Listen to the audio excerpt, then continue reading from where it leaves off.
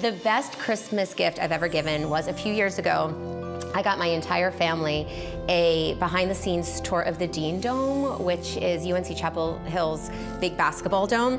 So I have two brothers and my parents who are all big basketball basketball fans and big UNC fans, and I got them a tour of the locker room, and we got to go on the, you know, on the basketball court, and it was a little surprise, and so they were really excited. And we got to see, um, you know, the, the coach's office, and it was it was pretty cool. I gained a lot of points for that.